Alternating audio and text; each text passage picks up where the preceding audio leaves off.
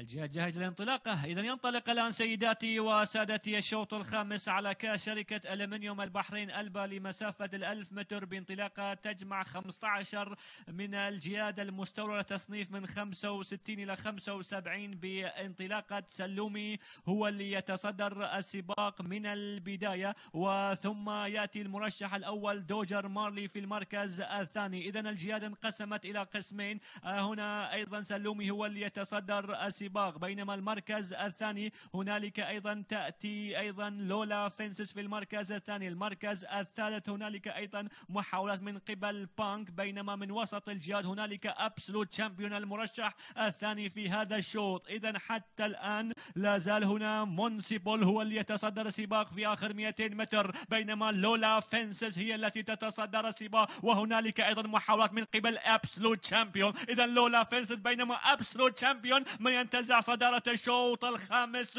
ويخطف كاس شركة الألمنيوم البحرين